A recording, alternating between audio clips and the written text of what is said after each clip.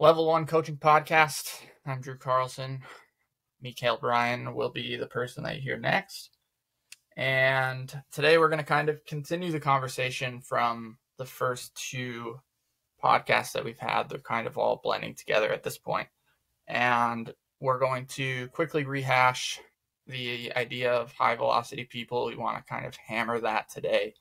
And this principle that Mikhail brought up to me off air and we're going to speak about that. So, high velocity people, for those that, again, I'll link that article if you're just hopping in for the first time. Um, pause this. It's great uh, background context on kind of what we're doing here, what this platform's about, and what we've kind of dove into so far. Um, this high velocity people concept. So, level one coaches are often the ones that are becoming the level 50s from what we've seen anecdotally, people that we've worked with in the past, and just kind of what we're observing from afar uh, and doing some research on some of these people that we'll hopefully have on in the future. Um, but this velocity concept that the ones are getting to 50 and the level 20s are kind of getting stuck. So the principle that we're going to get into is and in trying to find some of these people early on connect with them attach yourself to them build relationships build friendships with them you have to look for what is being said versus who is saying it. And i'll kick that over to mikhail. It was something that he brought up and we're going to kind of dive all the way down the rabbit hole on that today. So what comes to mind when uh, you were thinking about that. Yeah. So the way I sort of think about it or see it is, um, you know, when you're when you're listening to, it doesn't really matter what forum you're listening, uh, a coach or really anyone speak. It's easy to it's easy to listen to who's saying it and think because of who's saying it, they must know what they're talking about. Meaning, if you are in the sports world and hockey if you're listening to um, you know an NHL coach or an NHL analyst um, on one of the networks you know post game or whatever they must know what they're talking about because of their credential etc and it's not that they don't and that could also be true or is true. Um, but i think the way i look at it as like instead of evaluating based on who's saying it so sorry, there there's that part, and then the inverse of that would be listening to you know like we talked about the level one, the, a tier three junior assistant. It's like, well, why would I listen to what he's saying because he doesn't have the weight behind his word that somebody who played in the NHL does. Um, it's very easy to do that. I think it's natural. I think to a certain degree, we all do it. We weigh more heavily the words of those that we consider to be experts, and we definitely underweigh the words of those that we consider to just be novice or why would we listen to them because we don't have any reason to yet.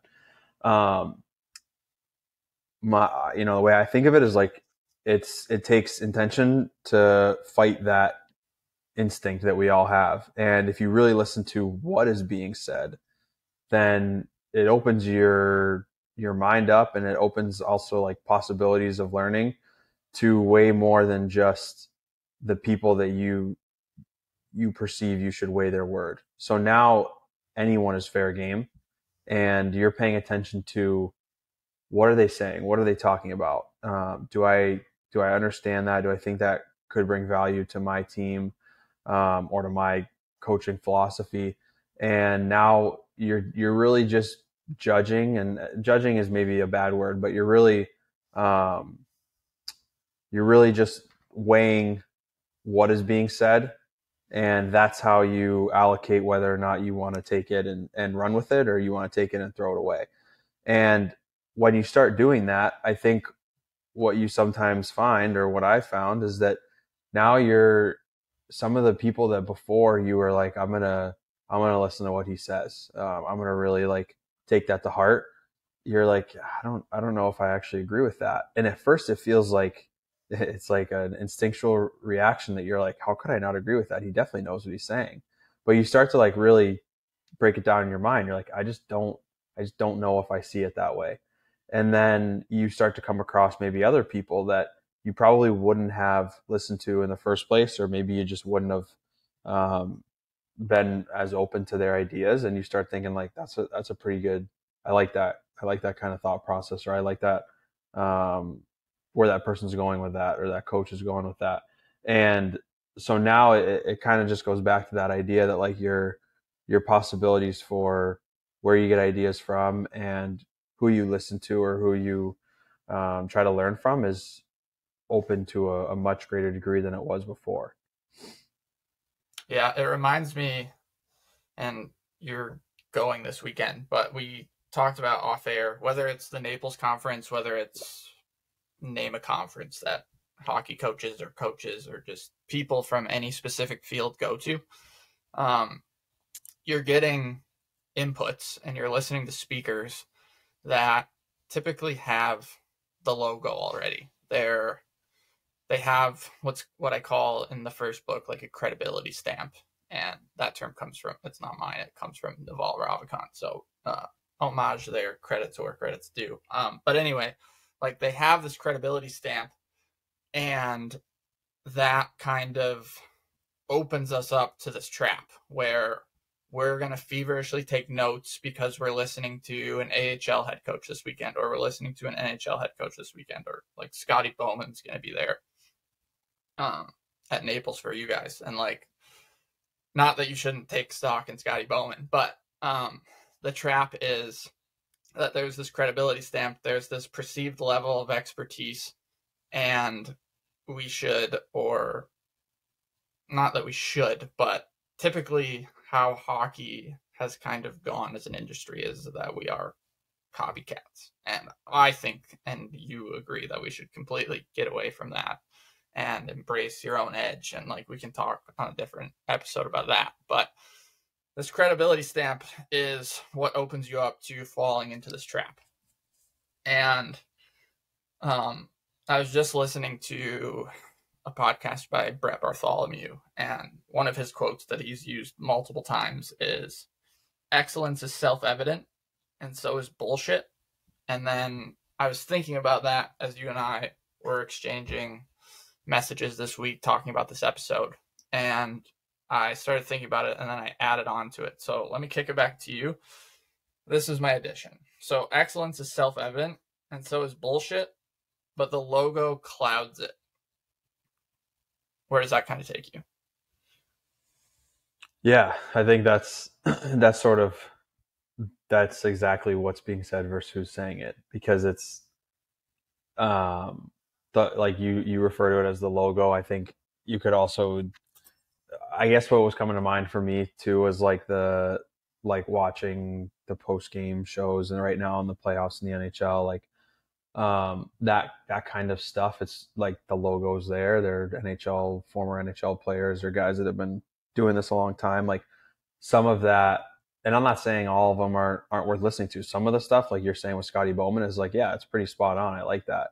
But uh, there are other times where you watch it or you hear it and you're like, I don't, I just don't know if I saw the same thing. Um, but there's a there's a I just think like a natural instinctual reaction within ourselves to be like, but that logo is telling me otherwise. That logo tells me he does know what he's saying, or that the fact that he's on TV and I'm not, or this other guy that I know who I like isn't, like he must know what he's talking about because why else would he be there?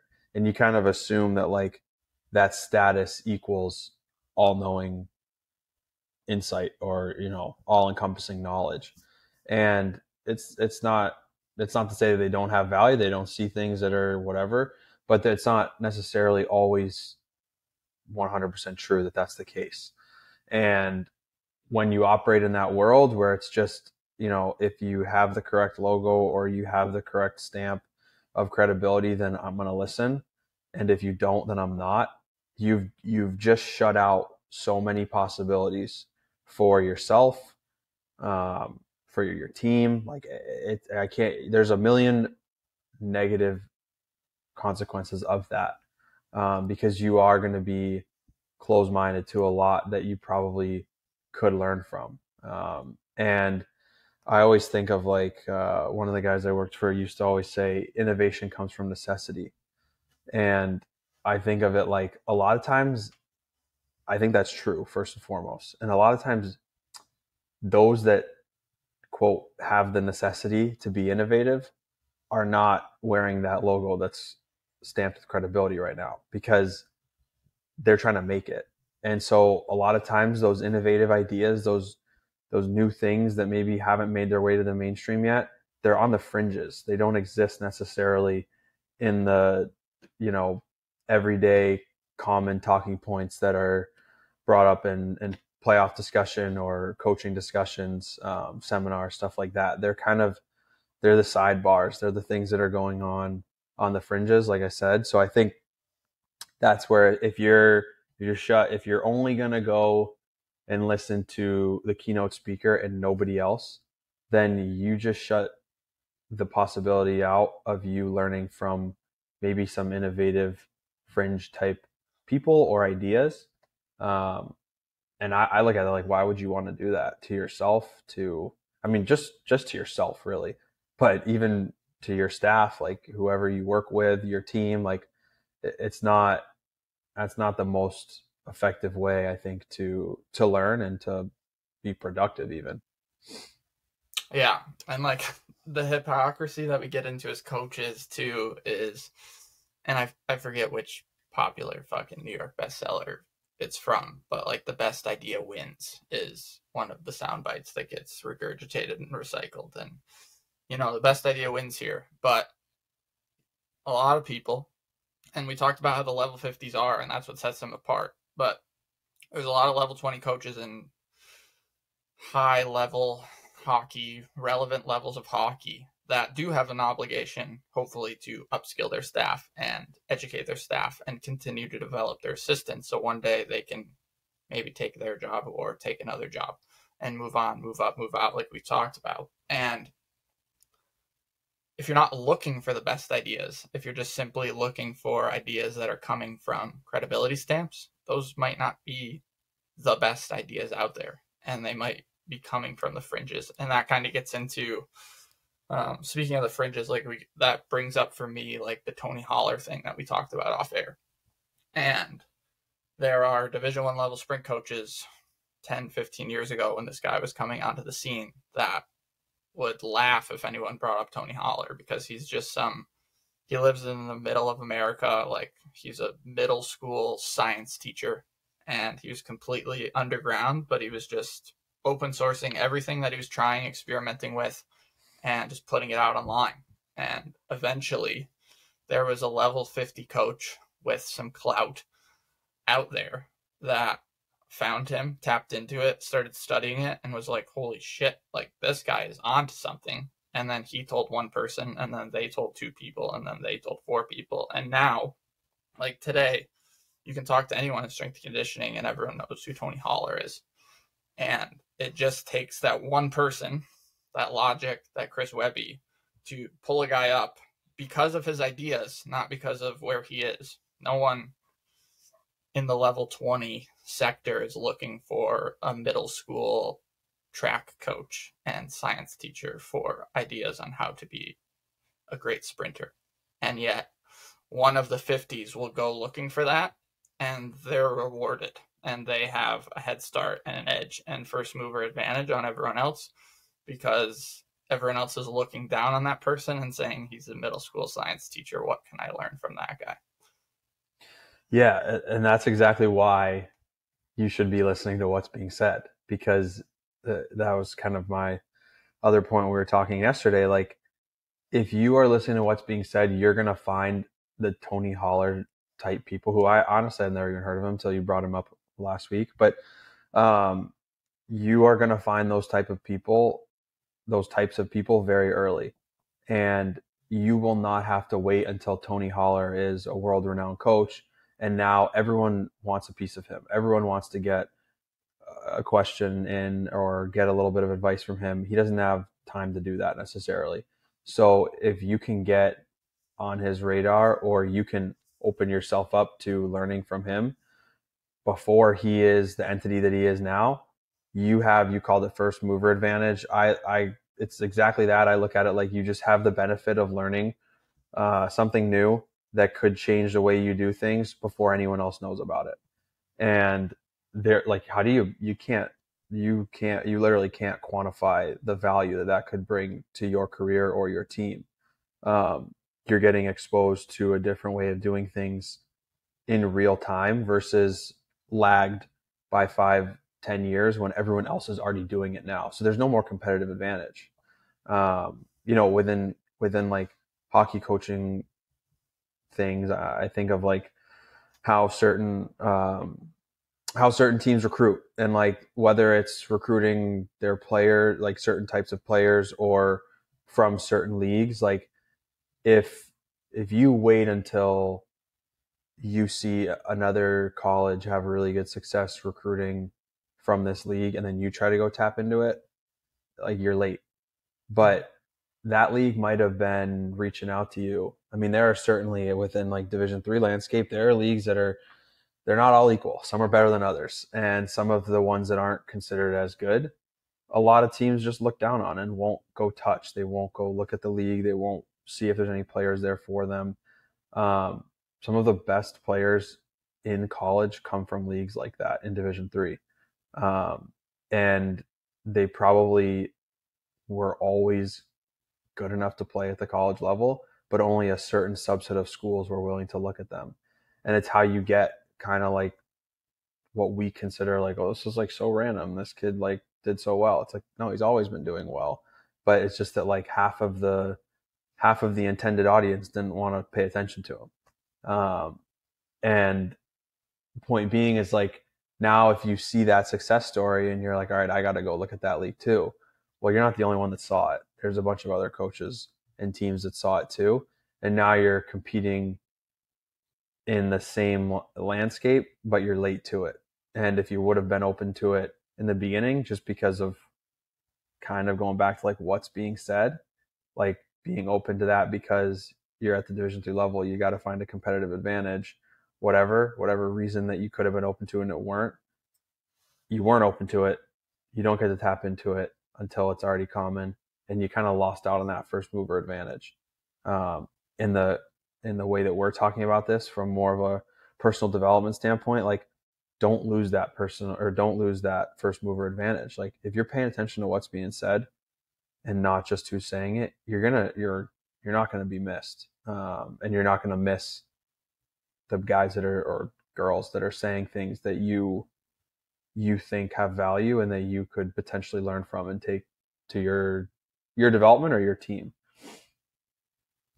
Yeah, and we kind of have uh, we can obviously it's our platform and we're telling personal stories and observations from what we see outside.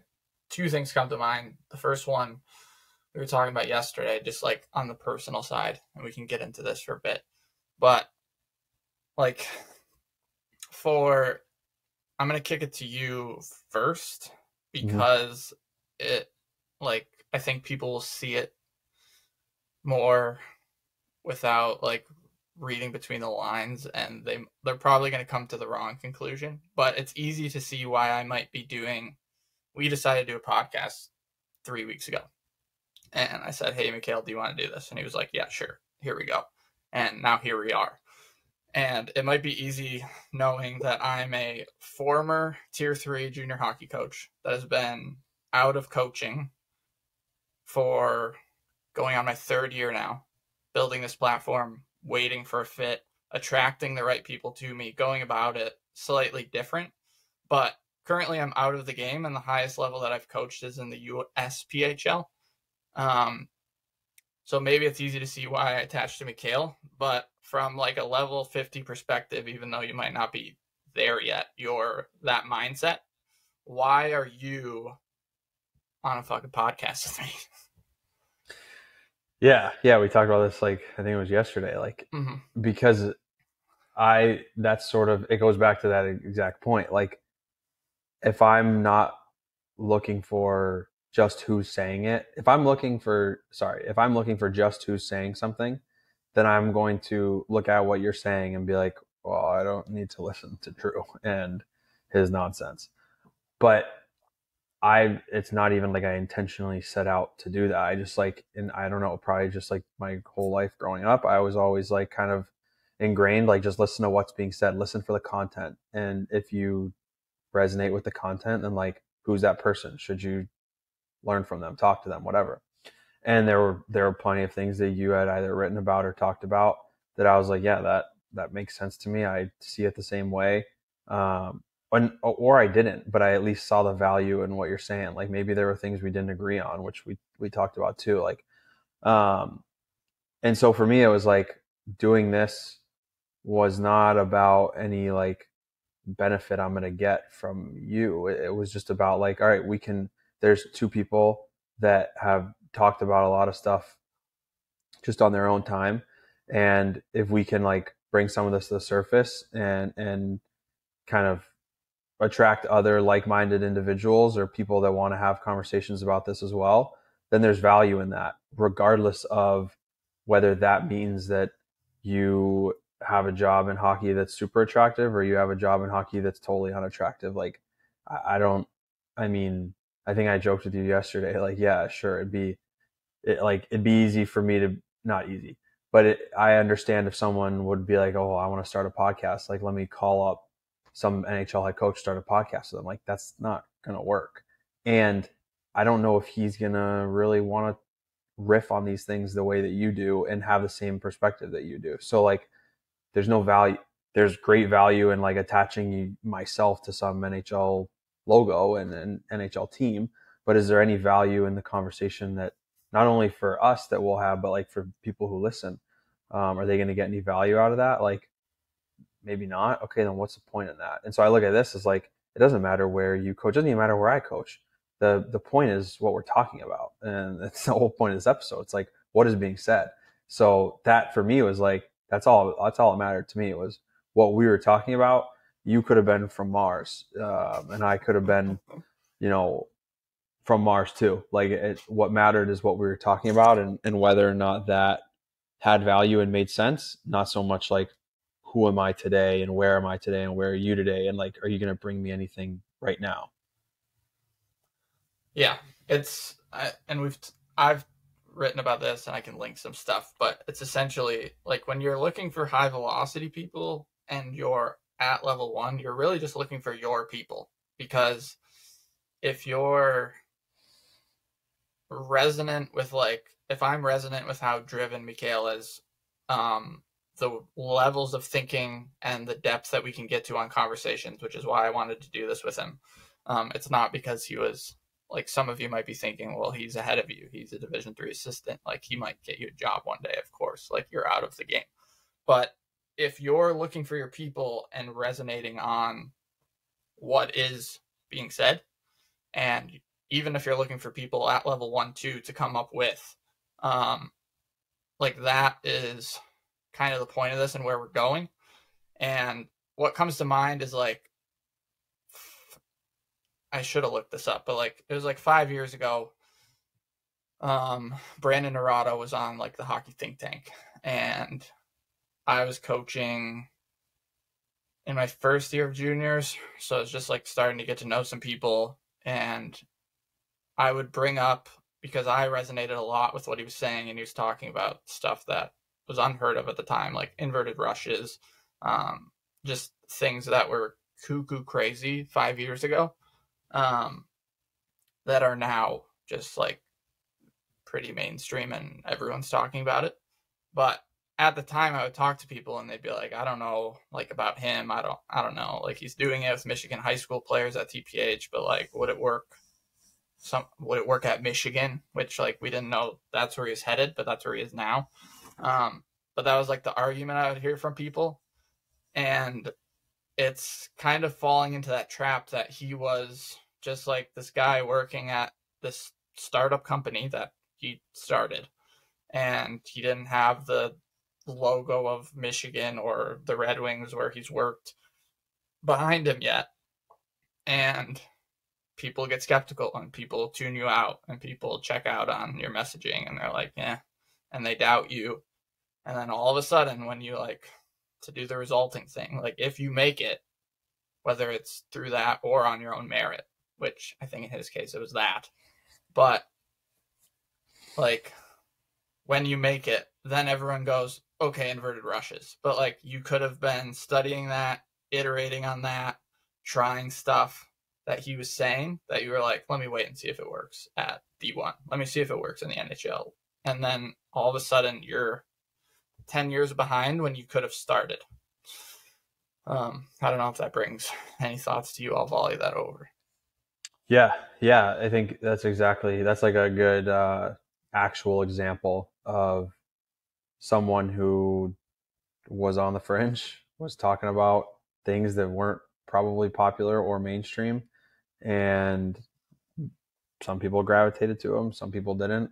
Those that did, they probably were able to use some of the things he was talking about for the last 10 years before now it's very popular and mainstream and i mean i know michigan didn't win the national championship but they were certainly entertaining to watch and played extremely i mean what i would consider extremely good overall hockey like as far as i know they didn't again didn't win but you're talking about being one of the final four teams playing that's hard enough to do in and of itself um, and so now to take some of those things that maybe Michigan is doing, like you you certainly can do that, but everyone knows everyone has the ability to know what Michigan's doing today.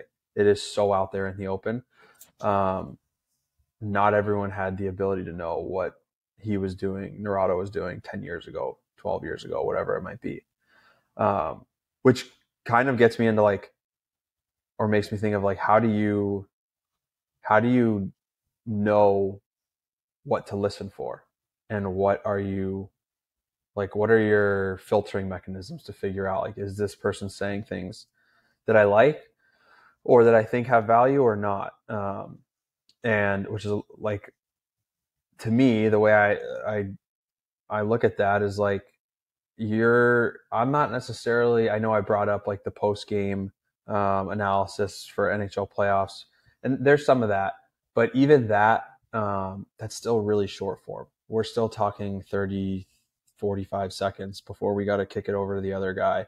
Um, and I'm not necessarily talking like the in between the in between the um, TV timeout interviews they do in the NHL. Like again, that's for all the coaches out there. Like think about during a two minute TV timeout. Do you really want to do an interview? Probably not. Um, so like those little sound bites that are given, I'm not sure I would put all my weight on judging or valuing what what someone said, evaluating what someone says in that moment. Oh, clearly, I'm biased here. We're doing a podcast. I think podcasts have a lot of value because it's totally open forum. Like you can answer for 35 seconds or you can answer for 15 minutes. Um, and when you're looking at what's being said, at least what I do, and and I'm curious what your thoughts are on this. Like, I'm usually evaluating for like a thought process. I'm trying to figure out like you call it levels to thinking, like which I had never really heard of before you brought that up. But I I look at it, or I always thought of it as like how much of their thought process on this is like solidified, and how deep are they going with this thing. So like if you are listening to just because we're talking about Naurato. Like if you're listening to him 10 years ago on the Hockey Think Tank podcast and he just says inverted rushes. And then he's like, yeah, that's what we do. And they're like, oh, what is that? And he's like, yeah, it's this thing about rushes. And like, he doesn't really get into it. Well, like, I don't, I, I'm to, I'm to look at him and I'm to be like, I don't, I just didn't, I don't understand. Like, you didn't give me an explanation of what that is. So I can't really tell if what you're saying has value on the flip side, if he explains inverted rushes and then he's like, yeah, so this is like, this is what it looks like. This is how we coach it. These are the triggers or the cues that we want our players to recognize. And these are the scenarios where it's great. These are the scenarios where it's definitely not great. And he starts getting into all these like nuance and detail and explanation of of how they do it and how he teaches it and the different ways to teach it. Like, all right, this guy has some clearly well thought out processes to how he does this. And if he's doing that for one thing that's relatively small within the whole game, he's probably got this you know, multiplied out by however many other principles he's teaching or things he believes in. That's kind of like, at least for me, the cues I'm looking for is like, how well can they explain this and how thought out is this process? Um, I think when you, when you hear it, you kind of, you know, you're like, all right, he's like, he's going pretty deep in this. It sounds like there's more that he, he could even say if, if time allowed or if he feels like it. Um, and you're, and you leave with like, a decent understanding where you could write down like two or three notes and go explain it to someone else and be like this is this is what i just learned versus that first iteration i gave of like if Narado was just like yeah it's inverted rush is just like what we do. And then you're like all right what is that? And he's like oh yeah it's just like this way of playing and, and he doesn't get into any of it. Now i can go repeat inverted rushes to someone but i have no idea what it really looks like. Um, so that, that's how i guess i am trying to evaluate whether like what is being said has value, but I'm curious for you how you do that. Yeah, that's a good question. While you were talking, I just off the top of my head um, wrote down like three words, and I can get into them. But I'm looking for, and one of them overlaps: depth, difference, and conviction. So, like you hit on depth pretty well. Um, the only thing that I would add to it is, and for younger coaches listening, uh, be mindful of this. So we've all listened to podcasts where there has been a 10 minute answer, but the 10 minute answer has said a lot of things without saying anything. Um, so that would be the only like additional filter I would add to depth. Like there are coaches that are great talkers. They can talk to you in recruiting all day. They can talk to you about their tactics all day and they can answer questions on podcasts all day. But like part of the depth isn't length and i think that's where we could maybe get misconstrued for the listener. So like don't think of it younger coaches listening to this don't think of it depth as like you can go on all day about it. It's like what again what is being said. So kind of filter that but like you hit on depth knocked it out of the park. Um difference is the second one so a lot of where I've changed my minds on, on things in the last, call it three years, when I've been doing a lot of writing, a lot of reflection, um, and a lot of iterating on what I'm going to do in my next job, um, has come from hearing things that are completely different. So if I'm listening to that, and I was at the time, like he brought up inverted rushes, and I'm like, I don't even know that. Like, grab a dictionary. Like, what is that? um, you'd have to grab a hockey dictionary and it probably wasn't even written in a hockey dictionary yet because it was so new. So like when something that you haven't heard of before or just something that if you're super convicted and I've been on the complete left of an argument and someone throws something on the internet from the complete right, like I will with intention purposely click on it and read it and hearing that like polar opposite, it might not bring you all the way over to the other side, but it brings you to the middle. And then you can start to think, how can I build on this from the middle? And what nuances can I add? What can I take out? Where can I change this? And you can start like playing in this area where here you were stuck and here they're kind of stuck. But if they can move you, then like there's some flow in the middle. Um, so I think about difference a lot and then conviction. Like there are people that can talk and they can render cliches and press conference sound bites and um again say things without saying anything. And then there are people that if you can go Sam Hinkie talks about like how far like I'll ask someone a question that they want to talk about on a topic they want to talk about and I want to know how far down the rabbit hole they can go and he's like, I will go all the way down until I start hearing press conference sound bites, cliches, bullshit. And then I'm like, okay, we're done. That's to the level that you know this. And with some people, you can ask them one question on something that they think they know really well or they want to talk about. And right off the bat, it's this pre programmed press conference soundbite. And you're like, this person doesn't know that. So I look for that as well. That might be useful um, for you if you have any thoughts on any of that, if you want to add on. Yeah. No, I like the uh, I like the difference piece a lot because to me that's like that's where most I don't want to say all the right answers, but most of the truth lies closer to the middle, like you were saying, mm-hmm. than it does on the two extremes. And so the natural tendency is to hear the total opposite of whatever you view. So you said you're on the far left and you hear the far right perspective. And before you even really get through the far right perspective, you're like, yeah, I don't like this. I'm done with it. And you put it mm-hmm. away. And a lot of times, like, I think the the truth or the best answer is is somewhere in that middle ground. And in a lot of ways, like your job as a coach or just as like a learner should be excuse me to be looking at the opposite perspective and trying to figure out if that complete other side which you don't really fundamentally believe in has any merit uh, because if it does it doesn't mean that you should go do it but it maybe means that you should move a little bit away from this the staunch position you are in. Um, and I, and I'm I'm trying to think of like a good like technical example. I guess one that I'm thinking of could be like we, you know, I believe that our our defensemen should be up in the rush every single time they're on the ice, both guys at all times. And I'm a hardcore believer in that. Well, I might want to listen to some people who believe in the complete opposite that are like, I believe our D should sit back and only take a rush, never jump up in the play, and essentially just be pinned to the blue line at all times, defensive blue line. And it's obvious when I'm saying this out loud, like, well, if you're doing what I'm saying, you're going to end up with probably a good amount of breakaways against and a lot of odd man rushes against because you're always going to have 2D up in the play, even when it's not a great time to jump. And if you're doing the opposite, you might never give up an odd man rush, but you also might never earn an odd man rush. And you're going to be playing the whole entire game three on four, three on five.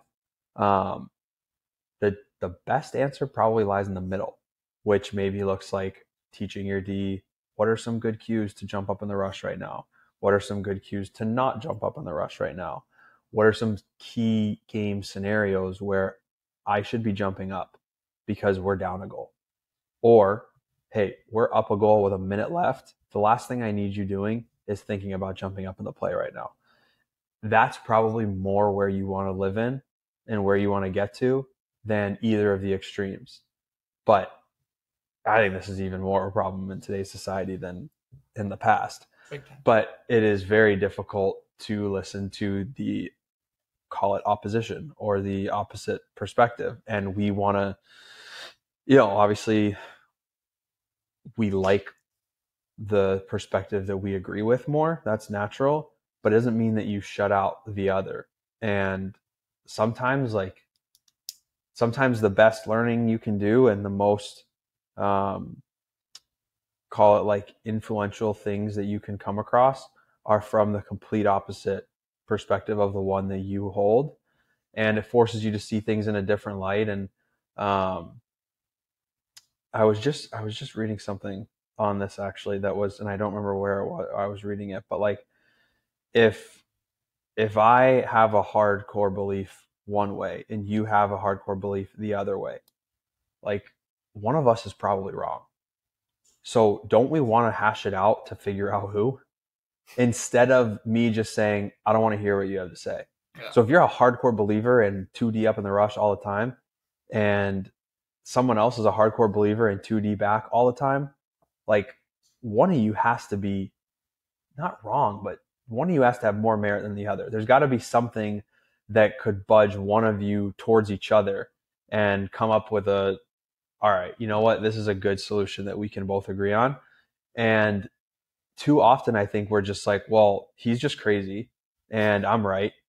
And you and then he thinks you're crazy and he's right. And so you never get anywhere and neither of you learn from each other. Neither of you get any sort of perspective on on the other person's position. And we just shut that person out. And now for the next five years i'm never going to listen to a thing that guy says because i think he's an idiot. And it's like what if you just had a thoughtful disagreement for a little bit. So when you're talking about what you're listening for, um, difference is one that I did not think of, but I I absolutely love because it it is difficult to be different or to think differently, mm-hmm. and it is something that if you're able to identify, like, hey, this this person's thinking about this a little differently, definitely worth considering, even if you don't end up agreeing with it or doing anything with it. Yeah, to me, it's just where, as you were talking about it, and I kind of had like a picture of what I was trying to say um, but then you were talking through those two situations with like just the example of jumping up in the rush all the time with two or not at all. And when you're at a one and a 10, like you have your hard and fast rules, and there's not like a lot of it's just red light, green light. There's not a lot of thinking. And where you can start to one challenge yourself, two eventually make your team better, make your staff better, start to think for yourself is coming to the middle because that's where the questioning starts. Okay, when is a good time to go? With how many? In what situations? With how much time on the clock? With the score? And then all of a sudden, now you're thinking, okay, this is what we're going to do in this situation. This is what we're going to do in this situation. This is how it differs. And now all of a sudden, you have a thought process. And you're starting to think through some of these different situations. And it's not just your example. It can you can apply this widely to anything. Um, pick a topic but i'm just trying to build off Mikhail's here. Um, but like the middle is where you're to start thinking. And then if you're sitting at a five and you're thinking and then maybe with some of your thoughts and the context you kick yourself to a six. So you're a little bit closer to where you started. You're a little more convicted in it, but at least now you like know why. If that makes sense. Yeah, for sure. You know why. And then the other one that just came to me is like you you also know the merit behind it because you considered the opposite. And so conviction follows because now when I ask you, say you you to just continue with this example, say you are a hardcore believer that the defenseman should never jump up in the rush. And I ask you, but you considered my perspective of how they always should jump up. You still end up you you brought yourself to a five, but you still end up going back to a six, and you finish at a seven. Now, when I when someone else asks you, like, well, why why do you believe that the D should never jump up in the rush? You've already gone through the thought process of why I maybe wouldn't want my D to do this, and I've considered Mikhail's point of view or whoever's point of view, and I'm still back at where I started, or I'm closer to where I started than where they are and so now your conviction is even higher because you've thought out the the other side the anti goals if you want to call it of of that. So it's like it's it's a great exercise to undergo in really any circumstances because all you're going to end up with is a better understanding of why you sit where you sit. And on top of that more conviction in being there because you've considered the other side and you still end up where you end up. And and maybe maybe you don't. That could be the other possibility is you go through this, you started at a 10, you brought yourself to a 5 and you finish at a 4. You're like, "You know what? You're right. I actually think that I should live more in the world that you're talking about than the one I was." And now again, you've got more conviction to live in that world because you cons- you you used to not. so you understand why this has merit. It's it's it's one of the reasons that people who make hardcore changes um, and i'm trying to think of a good example of that but maybe like in the political world someone who goes from being a hardcore uh, republican to a hardcore democrat like or you know even you could use like an addiction example someone who was a, an addict of any sort of drug or alcohol and goes completely sober, I think those opinions sometimes have so much merit. And I, at least I find myself very interested in what they have to say specifically because they've lived in both worlds. They've lived in the, the very progressive world. They've lived in the very conservative world. They've lived in the hard addiction world and they've lived in the now hard sober world. Um, those are such different worlds to exist in. And most of us don't ever do that. Most of us live in one or in the middle all the time. So to have lived and survived in both, I think the things that you that person is going to bring to the table, that that level of conviction and belief that they have, it, it like rubs off on you because you're like, how could I not believe in what they're saying when they've they've seen it firsthand from both sides. Yep, and that kind of building on top of that again, um, it gives you like we talk about and we talked about in the article like perspective taking just as a mental model but then instead of just using a mental model now you have lived experiences in both instead of i believe this i can go ahead and like give Mikhail the benefit of the doubt here. I'll throw him a bone. I'll see it from his perspective. That's like that's level one. And then like further in that game, if you have lived experience on both sides, like that's gonna be incredibly again, to your point, like incredibly more powerful. If you have someone that's been sober and been addicted, they're gonna have a greater depth, breadth of experience.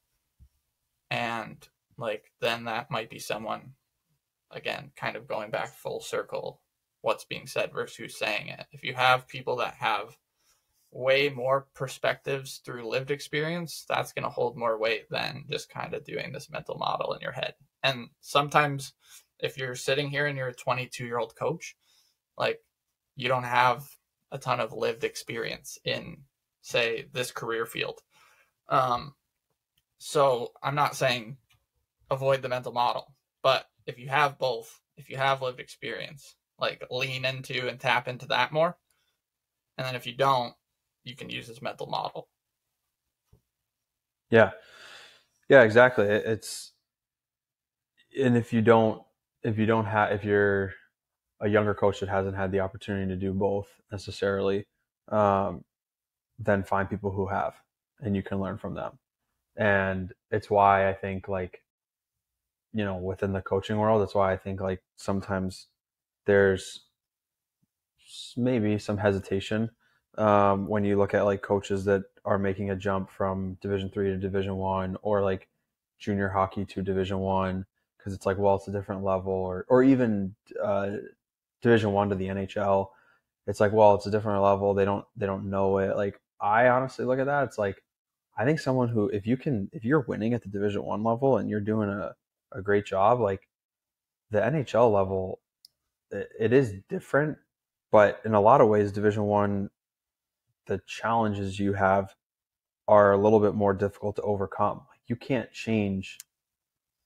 Facilities are a huge thing right now in college sports. Like a Division One coach can't change the facilities they operate in, at least not in the short term. So if they're finding a way to win despite that, then don't you think they could go coach in the NHL and have MSG or whatever ranked United Center and be able to find success there. Um, same thing with with junior hockey. Like, well, they haven't worked in Division One, whatever. Like, if you can coach your team to a successful season over the course of sixty games and twelve hour bus trips, I think you could probably figure it out in Division One. Um, and and same thing. I'm biased, of course, but I do think it exists in Division Three too. Like there's a lot of different things. I'll just talk as a head coach. As a head coach in Division Three, I'm obviously not one, but I see it on a day to day basis. Like there's a lot of challenges that all head coaches in Division Three have, from secondary responsibilities to um, the normal responsibilities of a coach. Also, whatever challenges the individual school that you're at has. Like there's a lot that they have to balance all the time on their plate. And depending on where the Division Three head coach is, he might only have a part-time assistant. So now even more is on his plate. Um, if they're able to do that well and succeed at a, to think that they couldn't do it at a division one school because they haven't coached at the level, like, okay, but now at the division one level, you've got two to three assistants plus hockey operations plus volunteer staff and the budget increases by a million like i don't even know what what increase that would be like mm-hmm.